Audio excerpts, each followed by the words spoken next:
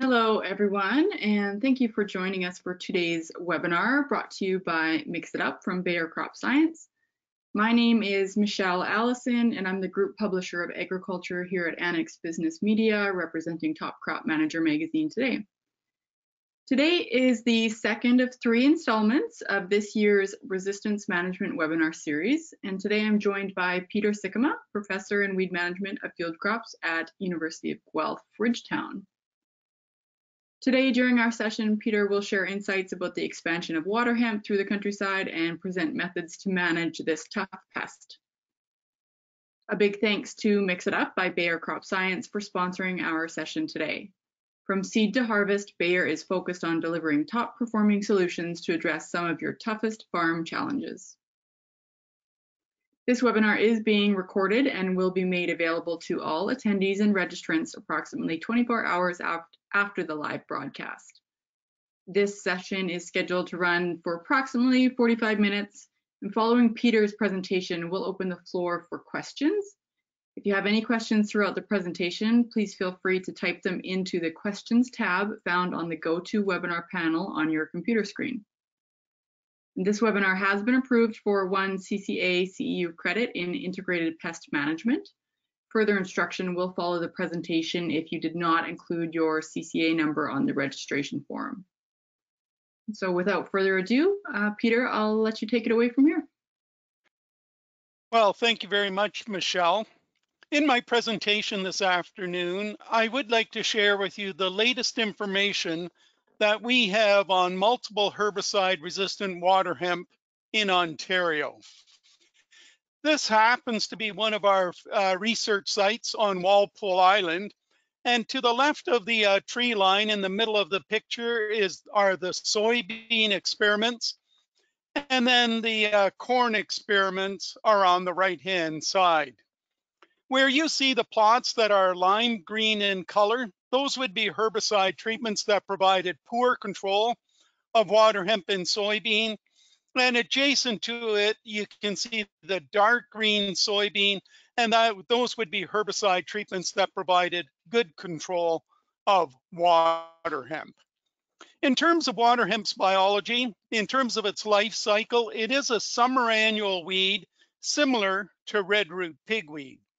But what differentiates water hemp from redroot pigweed is that water hemp is a dioecious species. That simply means that you have separate male and female plants, and generally there's about a one-to-one -one ratio of male to female plants. However, in stressed environments, there may be more female plants.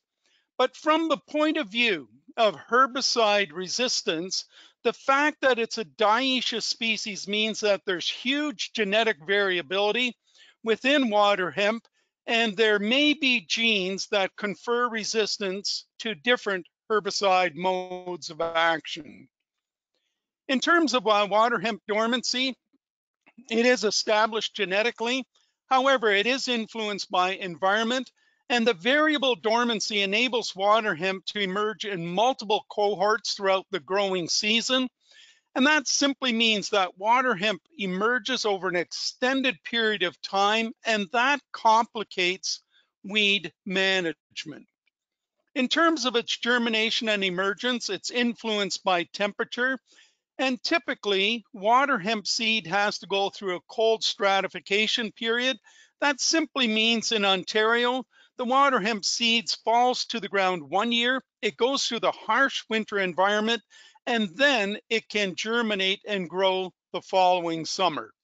Germination and emergence is also influenced by light as well as moisture. However, the environmental requirements to initiate germination are not very strict, and therefore, just like I spoke about with dormancy, the emergence of water hemp occurs throughout the growing season, and you can have multiple flushes of water hemp beginning in May and continuing right through into the fall. In terms of its flowering, the pollen is spread by wind. Typically, the pollen moves less than 25 meters. However, pollen can remain viable up to 800 meters. So you could have the movement of water hemp genes from field to field within a small area. And the uh, pollen can remain viable for up to five days after release from the anther. And after pollination, it only takes nine to 14 days for water hemp to form viable uh, weed seeds. The time to flowering is influenced by the emergence date. So plants that emerge in May may take 90 days to go from emergence till it goes through the vegetative stage and begins reproductive growth. In contrast to that, if water hemp emerges in August or September, it could take less than 30 days from the time of emergence till it goes into its reproductive stage. And the flowering pattern is referred to as a pulsed flowering pattern. And there can be up to 10 flowering pulses during the growing season. And the flowering pulses are dictated by our environmental conditions. And in biology, we refer to that as bet hedging.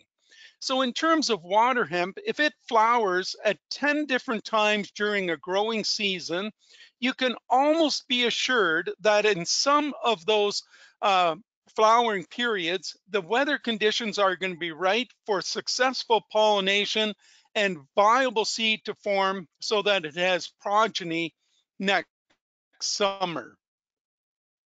In terms of water hemp seeds, in an uncompetitive environment, one female plant can produce up to 4.8 million seeds per plant in a study conducted by Bob Hartzler at Iowa State University. However, if a water hemp plant emerges at the same time as soybean, the number of seeds produced per plant are reduced by about 95% to 300,000 seeds per plant. And if water hemp emerges 50 days after soybean planting, the number of seeds per plant is reduced to only 3,000 seeds per plant, or greater than a 99% reduction in the number of seeds per plant. The seeds have a relative have relatively short seed longevity in the soil. There are some peer-reviewed manuscripts that show that water hemp can remain viable in the soil for up to two decades, but in most studies, water hemp seed either germinates or degrades in less than five years.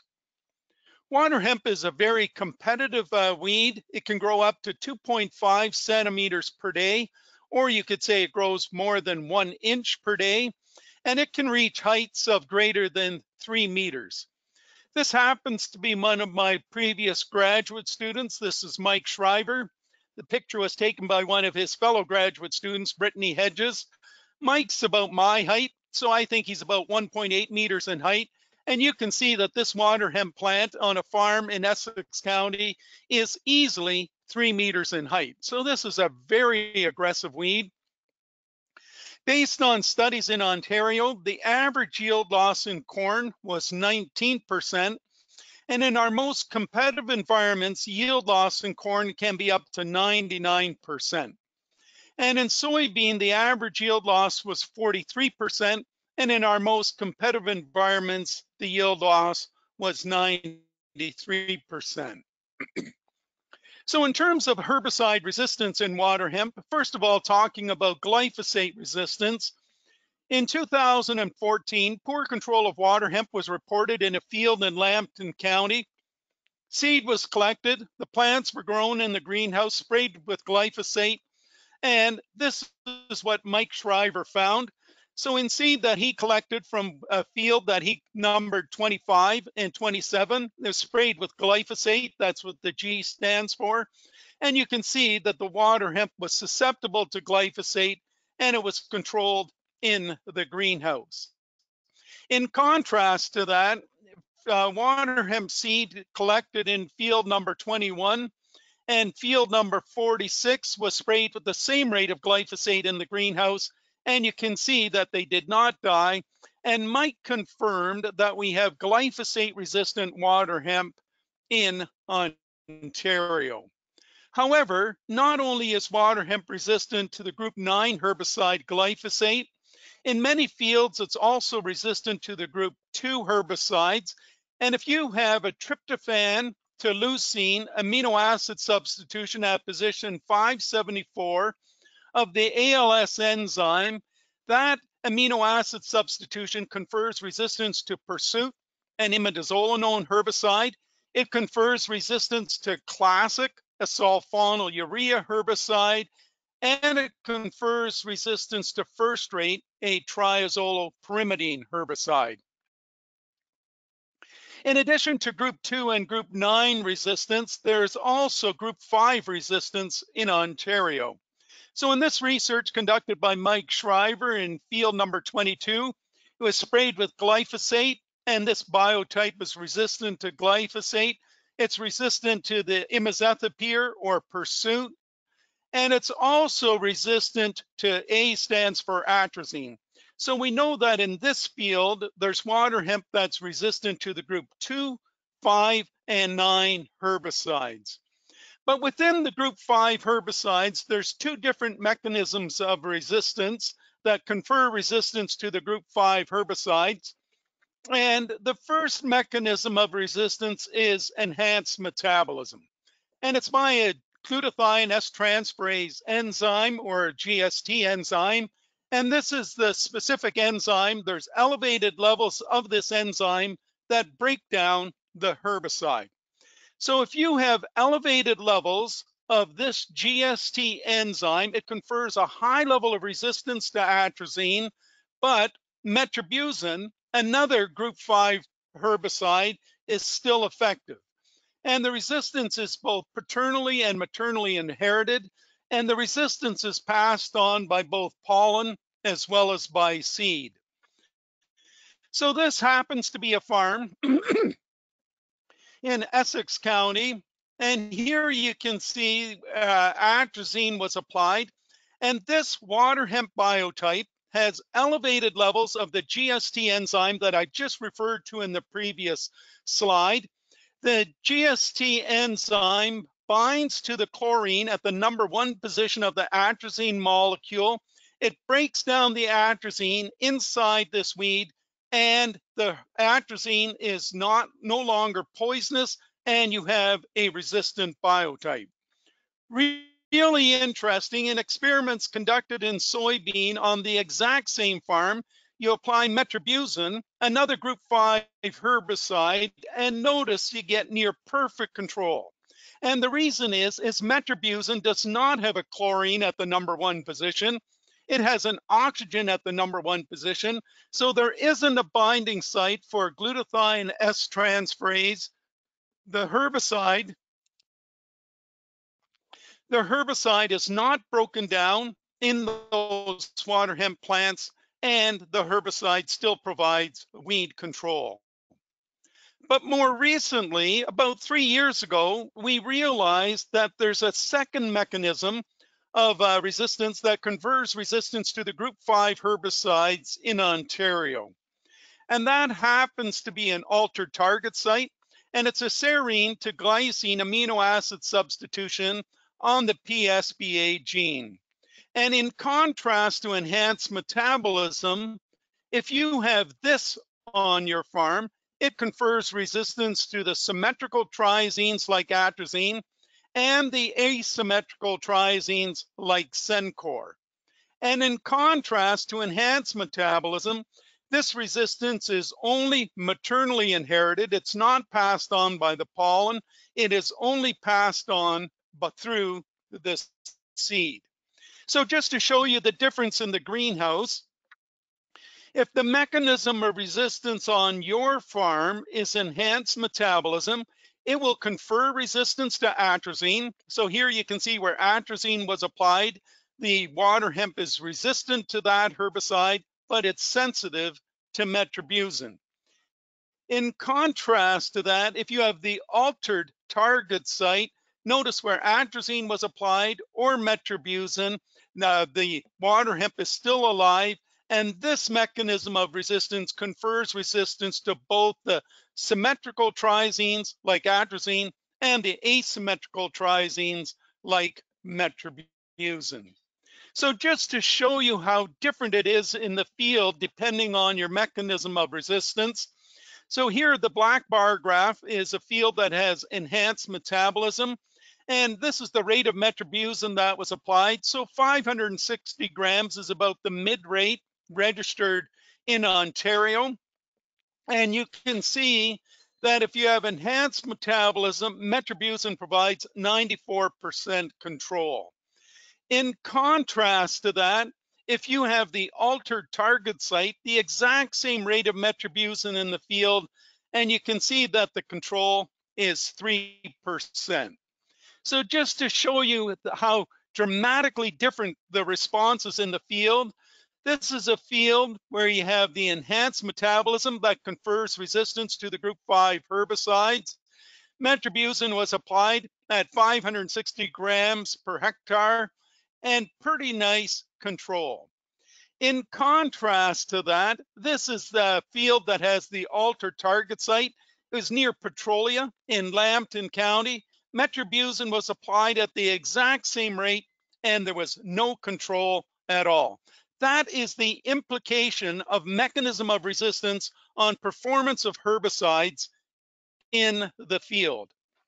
But not only do we have group 2, 5, and 9 resistant water hemp in Ontario, in this research that was conducted by Brittany Hedges, well, she was a graduate student in my program, she applied Blazer, Reflex, Cobra, AIM, Eragon, and Blackhawk, and on a susceptible biotype, she had perfect control uh, with those herbicides. Notice in seed collected from field uh, 1607, it was uh, sprayed with the exact same herbicides as listed above, and the uh, mechanism of uh, resistance confers resistance to all six of those herbicides. So Blazer, Reflex, and Cobra are diphenyl ether herbicides. AIM is an aerotriazinone. Eragon is a pyrimidine dione. And Blackhawk is a phenylpyrazole. And if you have this mechanism of resistance, it will confer resistance to all of those herbicides applied post-emergence. So this happens to be a field in Middlesex County. And so I know one of the hosts online is Andrew Chisholm from uh, Bayer. So this won't be very far from where he grew up. Anyways, this was seed that we collected in 2019, the 20th field that year.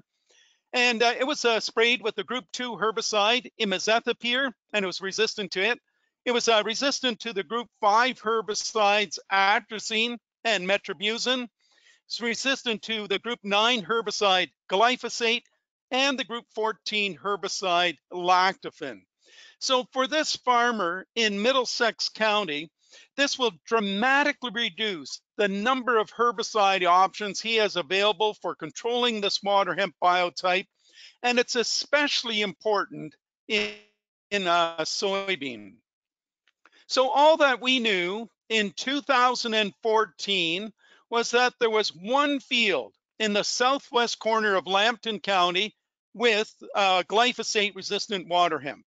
And now, six years later, in 2020, their glyph um, multiple herbicide resistant water hemp is from Essex County in the southwest to Leeds and Granville, uh, uh, Grenville County in eastern Ontario.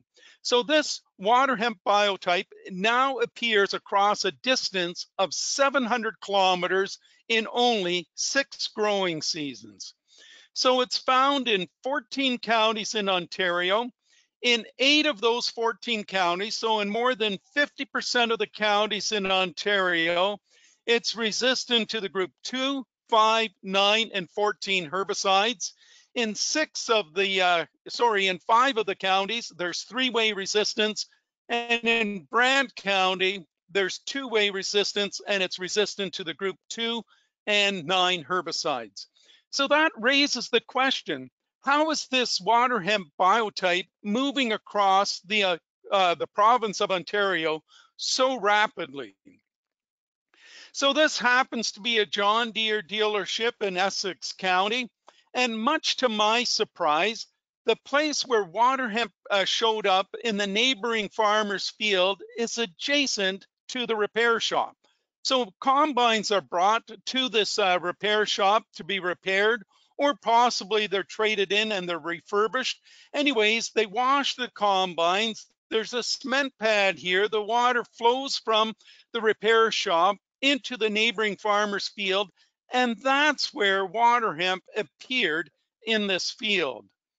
This happens to be a field in Lambton County, and I took this picture myself.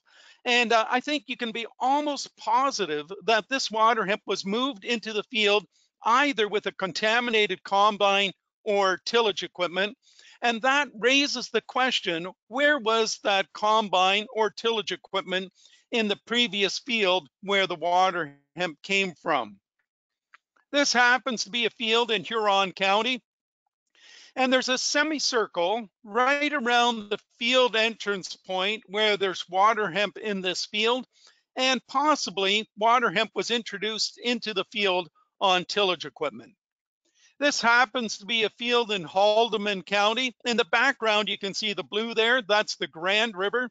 I remember personally talking to the farmer, and the only place he had water hemp on his farm is where the Grand River overflowed its banks. And the reason why water hemp is called water hemp is uh, the seeds float in water and the seeds were deposited into his field. And once again, that raises the question there must be farmers upstream from this location that have water hemp on the farm, and then it's just flowing downstream with the water in the river. This happens to be a picture in uh, Lambton County. And uh, here we think that water hemp moved in from the field edges. And the reason why I say that in some really interesting work by Julia Kreiner, a PhD student at the University of Toronto, the water hemp in Lambton County is almost identical genetically to the water hemp that's been in Ontario for more than a century, but for the first, let's say 90 years, it was really confined along open water courses in the province. And then something changed and it's now adapted to our corn and soybean production systems. And the last one is migratory birds. This is a picture that I took in uh, Essex County and really interesting. Once again, it was researched by Julia Kreiner at the University of Toronto. The water hemp in Essex County is almost genetically identical to the water hemp in the state of Missouri. And so that raises the question, how did water hemp from Missouri end up in Ontario. And it could have moved with uh, tillage equipment, it could have moved in uh, animal feed. And there was a really interesting study on the movement of weed seeds in the digestive tract of migratory birds. And in that uh, research, a migratory bird could ingest seed and fly 3,000 kilometers before it dropped it in some other area. So the question is, is why is water hemp an increasing problem in the province of Ontario in 2021? I've been in this job for more than 25 years. And if I remember correctly, I did not do one grower presentation on water hemp till 2015. And now I'm asked frequently to speak about this weed. And so the why is this uh, weed an increasing problem? There is a trend to reduce strip and no-till crop production in Ontario, and that favors small-seeded broadleaf weeds like water hemp. In addition to that, uh, water hemp is a dioecious species with wide genetic diversity. Not only does that genetic diversity allow for the possibility of evolution to various herbicide modes of action, that diversity also allows it to adapt to our current production systems. It's an increasing problem because of the evolution of multiple herbicide resistance. As I showed you, we have four-way resistance in Ontario. Some farmers in the United States have seven-way resistance. And in Ontario, there's group 2, 5, 9, and 14 uh, resistant water hemp. And it's a competitive plant it has a rapid growth rate, high fecundity or high seed production, prolonged emergence, and relatively short dormancy, which means the seed bank turns over quickly, and you can go from a susceptible seed bank to a resistant seed bank in quite a rapid time frame. So I mentioned about the emergence pattern of water hemp in Ontario. This happens to be researched by Mike Schryver when he was a graduate student in my program. And in the seven days prior to June 1, about 400 water hemp plants came up per square meter. This is a logarithmic scale. Make sure you notice that. So this is 10 plants per square meter, 100 and 1,000. And so in the seven days before June 1, about 400 plants came up. In the seven days before June 14, about 500. What's really amazing and what should uh, cause all farmers to take note of this plant, in the seven days prior to August 22, uh, 100 water hemp plants came up per square meter. And in Mike's research, this plant was still emerging on October 25. So this plant begins emerging after the burn down herbicide in the spring or the last cultivation and it continues to emerge throughout the entire growing season. So because of its emergence pattern, what are the implications for weed management? So uh, you must develop uh, full season weed control programs. Uh, you should start with a soil applied residual herbicide. In corn, that could be Acuron, Fierce and soybean, and then plan to follow it with an effective uh, post-emergence herbicide and a possible program in corn could be integrity followed by Shieldex plus atrazine or in soybean it could be authority supreme followed by reflex in terms of uh, yield loss in our st studies in ontario the yield loss in corn is an average of 19 percent but it can be up to 99 percent and soybean, the average yield loss was 43%, and it could be as high as 93%. So this, uh, these are two pictures that I took last summer in a farmer's field in Ontario. We had never done research on this farmer's field before, and the average yield, corn yield in Ontario is 164 bushels per acre in 2013 to 2017. The average selling price was $4.86 a bushel. So corn is worth $794 per acre. In our most competitive environment, we had a 99% yield loss. So if Ontario farmers didn't implement any weed management tactics to control this weed biotype, there's a potential loss of $786 per acre. So uh, we uh, looked at a number of pre-emergence herbicides for water hemp control in corn. And you'll note that broad strike dicamba, atrazine, dual, frontier, on guard, Zidua, and marksman provided 79% control or less. But there were some herbicides that were quite effective. Acuron Flexi, Lumax, Primextra, Callisto plus atrazine, and Converge plus atrazine provided 82 to 89% control. Integrity provided 91% control. And the most effective herbicide in our trials was Acuron at 95% control. So this is one of the experiments. Here you can see the water hemp pressure where no herbicide was applied. And on average, in our experiments, Acuron provided 95% control. So this is the control with Acuron in 30 field trials that we did. As I mentioned earlier, on average, it provides 90%, 95% control. In 33% of our experiments, it provided 100% control. In 50% of the experiments, the control was between 90 and 99%. Then in 10% of the experiments, the control was between 80 and 89. And some of you may think, well, that's still okay. And in reality, that's not okay. In some of the fields in Ontario, we have up to 4,000 water hemp per square meter. If you get 80% control, that means that you still have 800 water hemp plants per square meter, and that simply is not acceptable. We need 95% control or greater with this weed. In 3% of our experiments, the control was in the 70s, and in 3%, it was in the 60s. So weed control with any herbicide is variable from year to year and field to field, and that's due to uh, you need rainfall for activation with a soil applied herbicide like Acuron. It's influenced by soil characteristics. If you have a heavy textured soil, high in organic matter with a high CEC, the herbicide's bound to the soil and not available for weed control. And some herbicides efficacy is influenced by pH. The group 5, the group 14, and the group 27 herbicides are more effective on high pH soils than low pH soils. It's going to be influenced by the weed resistance profile, as I just described, by weed density, time of weed emergence, and finally, the competitiveness of the crop.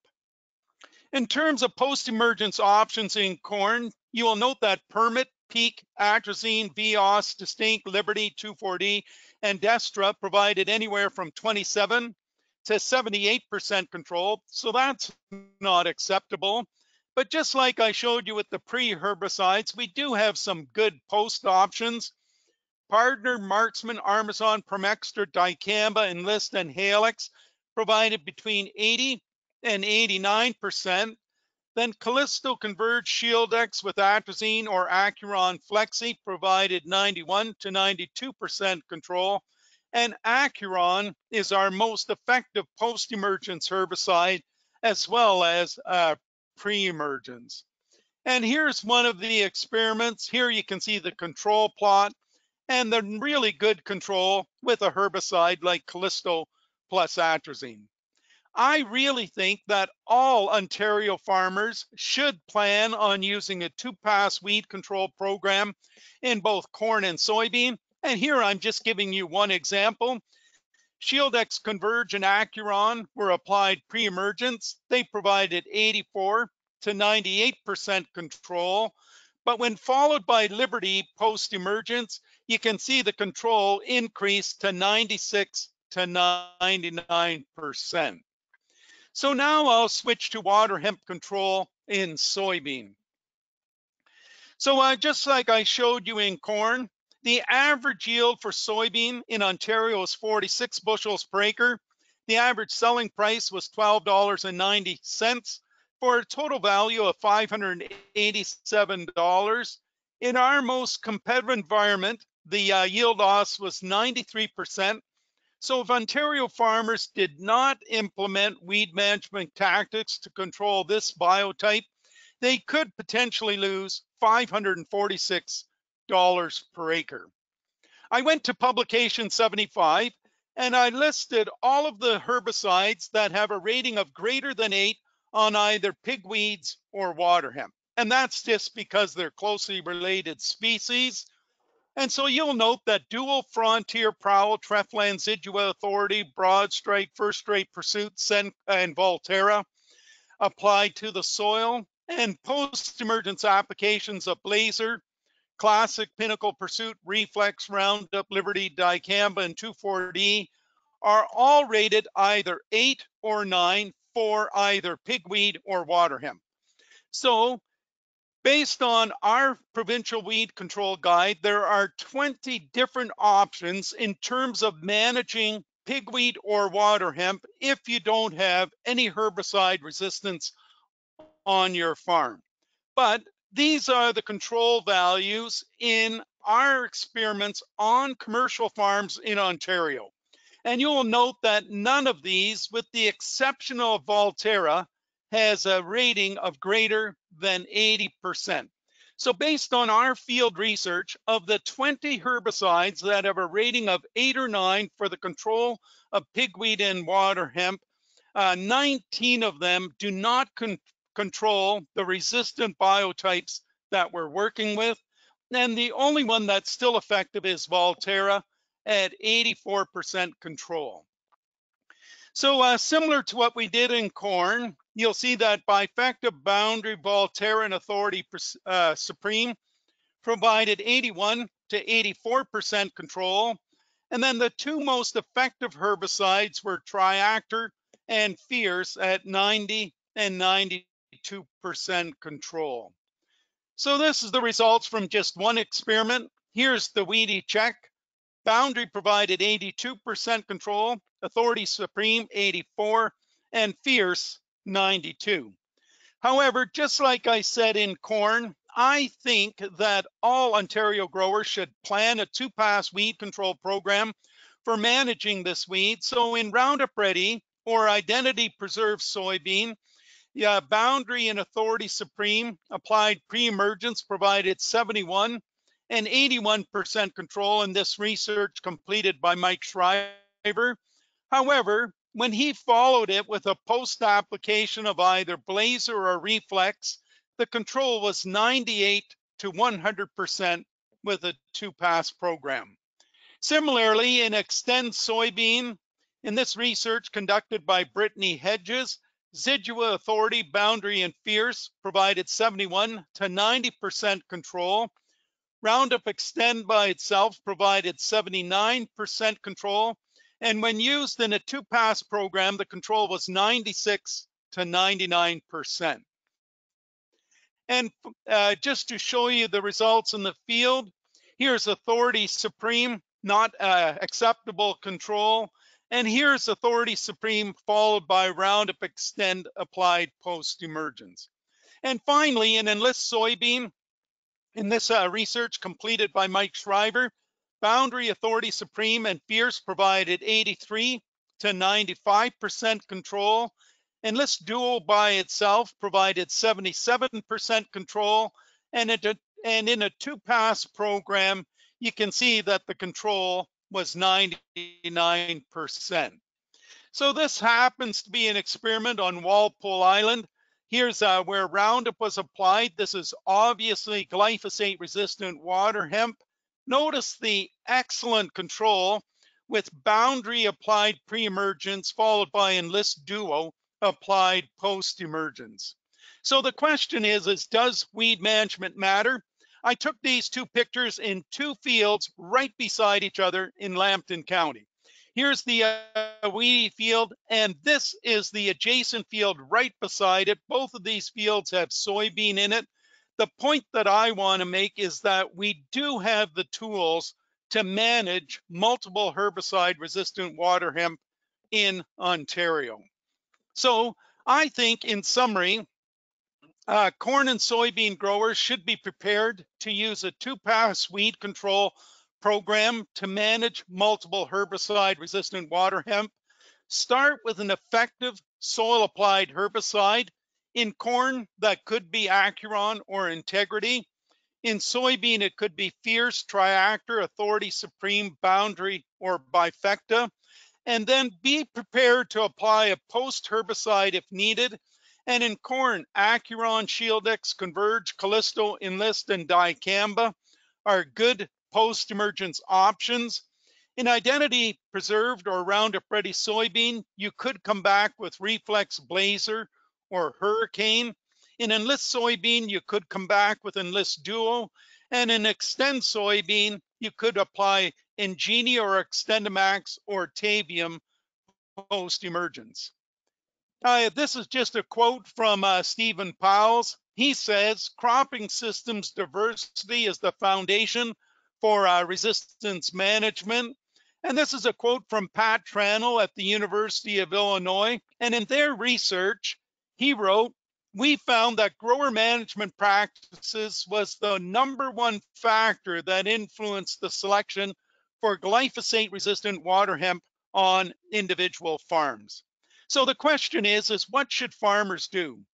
And I think farmers need to proactively introduce more diversity into their crop and weed management programs. I think every farmer should try to implement a as diverse a crop rotation on his farm as possible. I fully appreciate it has to fit within their farm structure, the machinery they have, the potential markets they have for the various crops. But the more diversity you have on your farm, the reduced selection intensity you will have for herbicide resistant weeds. If you have a diverse crop rotation on the farm, it allows you to utilize multiple herbicide modes of action over time. You can use uh, tillage at strategic points in the rotation, possibly plant cover crops after winter wheat combining, plant in narrow rows where possible. So instead of planting soybean in 30 inch rows, maybe you go to 20, 15 or seven inch rows and even possibly consider purchasing a combine with harvest uh, weed seed control that will grind the weed seeds and make them non-viable so that they can't come back next year. I would like to thank all of the people that uh, work with me at uh, Ridgetown campus. You'll notice that I've listed the names of 17 graduate students. So I've had 17 graduate students that have worked on glyphosate resistant weeds over the past 10 years. And if it wasn't for their hard work, I simply wouldn't have the data that I shared with you today.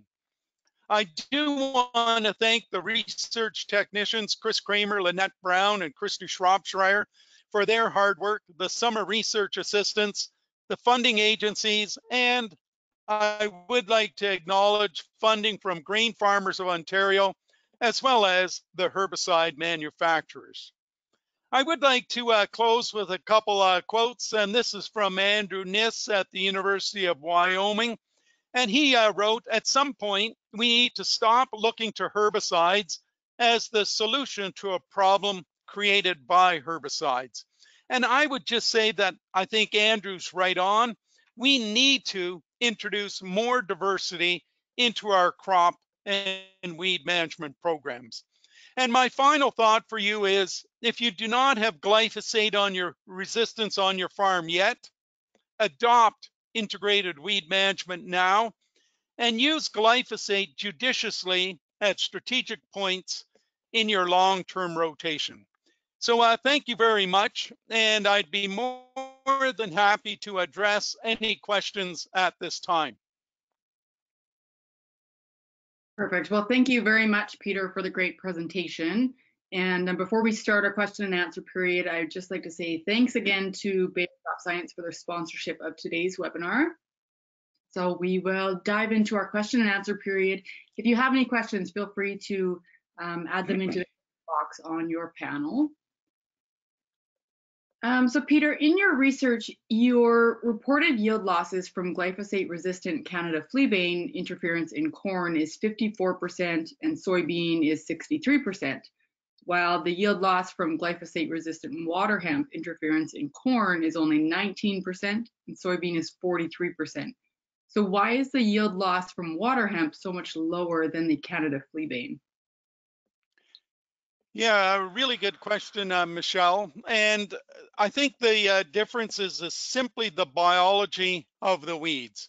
So Canada fleabane is a winter annual or summer annual weed and in many situations, the Canada fleabane will be two to four inches in diameter or two to four inches tall by the time the corn or soybeans emerge. And it has a competitive advantage over the corn and soybean. And therefore, the uh, yield loss in corn and soybean is quite high. In contrast to that, water hemp is a, only a summer annual weed. It's not a winter annual. And therefore, uh, the corn and soybean generally come up first. Water hemp tends to be a later emerging weed, and the corn and soybean have a competitive advantage over the weed. And therefore, the uh, yield loss due to water hemp interference is lower than it is uh, with Canada fleabane. Thanks for the question. Perfect, great. Um, the next one we've got here is what do you think is the most successful strategy to control multiple resistant water hemp in corn and soybeans?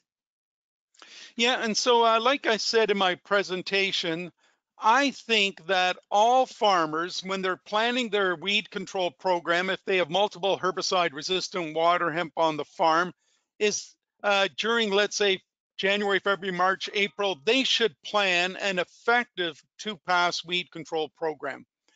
And so what I mean by that is you want to put down the most effective soil applied herbicide you can, and then monitor the field. Sometimes in our research, that's all you'll need for the whole summer. However, in contrast to that, most of the time, those soil applied herbicides will break at some point during the growing season and always be prepared to come back with a post-emergence herbicide. So in uh, corn and soybean, I think the answer is the same. Start with a, an effective soil applied herbicide. Make sure you scout the field frequently and be prepared to put on a post-emergence herbicide if needed. Great, okay. Now we've got a few more here. Um, so why does the water hemp evolve resistance to herbicides so rapidly rel relative to other summer annual weeds uh, like velvet leaf?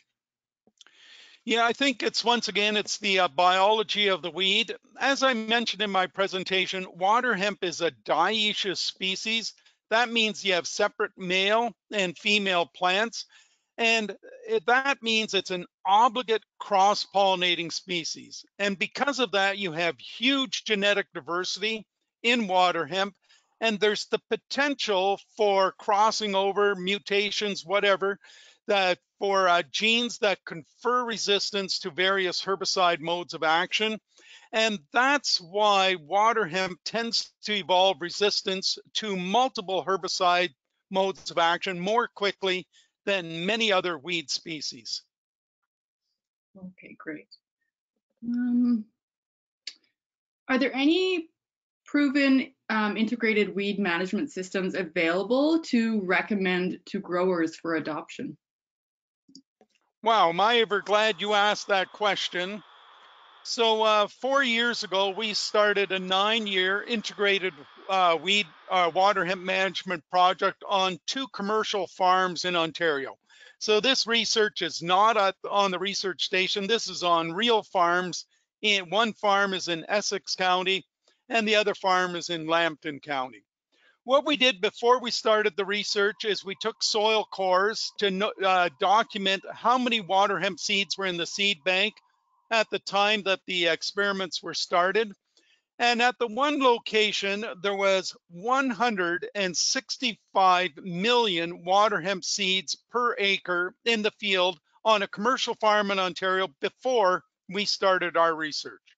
Anyways, what we did is we implemented 12 different uh, treatments. Anyway, we had continuous soybean, we had a corn soybean rotation, a corn uh, soybean wheat rotation, a corn soybean wheat rotation, followed by uh, a cover crop. And in soybean, we plant them in either 30 inch rows or we planted them in 15 inch rows. We've just finished analyzing the soil cores after three years.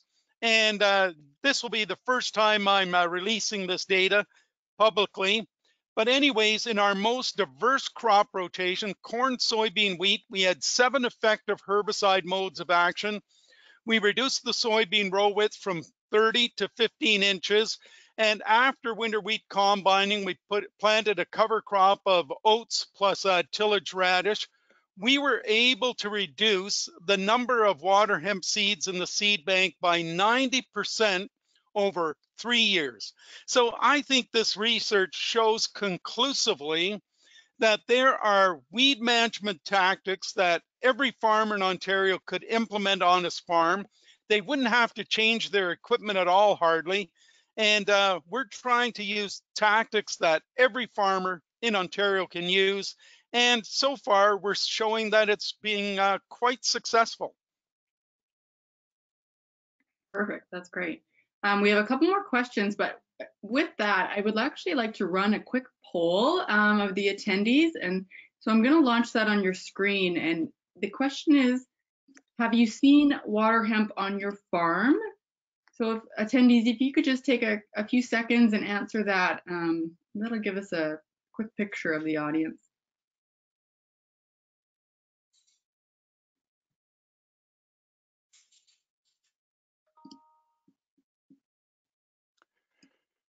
Wait for a couple more seconds.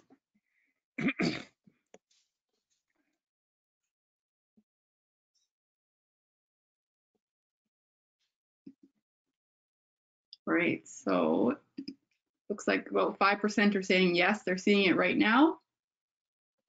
All right, hide those. And then I have a couple more questions for you, Peter. Sounds good. All right. Are soybean and corn growers able to assess their fields for the presence of herbicide-resistant biotypes? Yes, and there's uh, two different ways that you can do that. And so there's a company in Guelph called Harvest Genomics, and you can send either leaf samples or seeds to Harvest Genomics, and they can do genomic tests and identify whether you have group 2, 5, 9, or 14 resistant water hemp on your farm. I do want to stress that the uh, genetic tests that are available in 2021 will only be able to identify certain mechanisms of resistance. And so even though you will get your results from Harvest Genomics, and I think they're really good, so I'm not saying anything bad about them, you still have to repeat that research in the greenhouse so that you can uh, identify mechanisms of resistance that there is not a genetic test for today. And say, for example, if you have water hemp that's resistant to the group 5 herbicides due to enhanced metabolism, there is no genetic test available in 2021 to identify it. So your results from Harvest Genomics would say that it's sensitive to the group 5 herbicides, when in reality, it may be resistant, but it's just a mechanism of resistance that they cannot uh, test for with the genetic tests we have in 2021. Perfect. Okay, so then I have one more question here, and your work, recent work, might land on this a bit. What kind of work is being done on using the seeding rate or plant population as part of the strategy against this weed? Yeah, so uh, totally a uh, really good question. I think anything you can do to encourage the crop to close the canopy more rapidly is going to be one component of an integrated weed management program. So if you uh, could uh, plant soybean in seven inch rows, possibly at a higher seeding rate, it's going to close the canopy quicker and it will give the crop a competitive advantage over the weeds. And that will be one component of your integrated weed management program. Perfect, thanks. So um, with that, I think that's all of our questions. If there's any other questions, um, please reach out to us and we'll do our best to get an answer from Peter for you. Um, before we end today, a reminder that this webinar has been approved for one CCA CEU credit. If you did not submit your CCA certification number when registering, please email your first and last name and CCA number to webinars at annexbusinessmedia.com and these instructions will also be found in our follow-up email, which will hold the recording of the webinar as well. Thanks again, Peter, for the great presentation, and thank you to all of the attendees for tuning in for today's webinar. And don't forget to visit topcropmanager.com slash webinars to view all of our previous and upcoming webinars. The next installment in this series will happen on May 4th with Breanne Tidemann, so until then, um, hopefully you're staying warm. Maybe you're not in Manitoba with the snowstorm like I am, but um, I hope you have a great afternoon, everybody. Thank you.